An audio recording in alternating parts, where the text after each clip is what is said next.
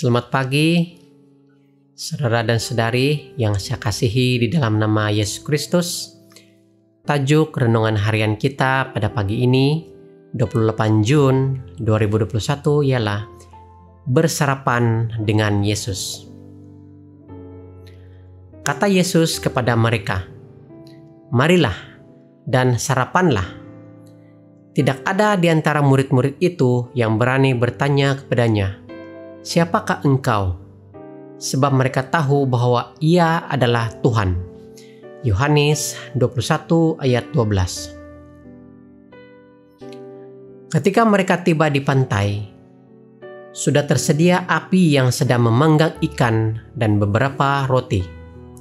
Mengetahui bahwa setelah semalaman menangkap ikan, murid-muridnya pasti merasa lapar Lalu Yesus menyediakan hidangan sarapan yang panas untuk para sahabatnya.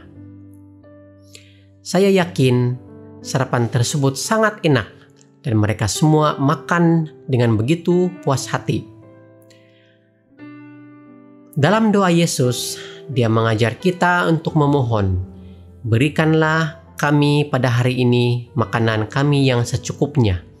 Matius 6 ayat 11 sama seperti Yesus menyediakan satu hidangan sarapan yang ringkas tetapi enak untuk murid-muridnya yang lapar dahulu. Dia mahu dan paling mampu menyediakan hidangan sarapan yang baik untuk semua pengikutnya sekarang. Jadi, setiap hari apabila kita bangun, kita perlu mendengar suara Tuhan memanggil setiap satu kita. Marilah dan sarapanlah.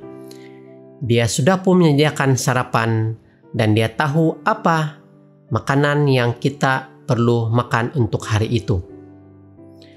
Apa yang kita perlu lakukan hanyalah menyediakan masak dan menerima undangannya yang mesra. Lihat, aku berdiri di muka pintu dan mengetuk. Jika ada orang yang mendengar suaraku dan membukakan pintu, aku akan masuk mendapatkannya. Dan aku makan bersama-sama dengan dia, dan ia bersama-sama aku. Wahyu 3 ayat 20 Undangan untuk datang dan makan sarapan bersama khususnya ditujukan kepada umat percaya pada akhir zaman sebelum Yesus datang.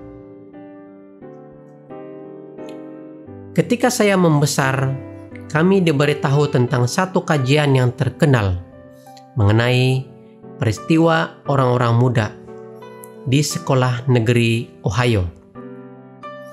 Kajian ini menunjukkan kanak-kanak yang makan sarapan sebelum mereka pergi ke sekolah mempunyai prestasi yang lebih baik daripada kanak-kanak lelaki dan perempuan yang pergi ke sekolah dalam keadaan lapar.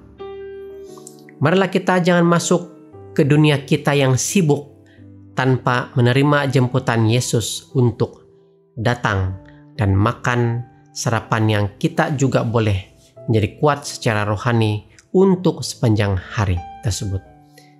Mari kita berdoa. Bapa di dalam kerajaan surga, terima kasih dengan renungan harian yang begitu indah pada pagi ini. Dan biarlah menjadi bekalan dalam hidup kami sepanjang hari ini. Di dalam nama Yesus Kristus kami berdoa.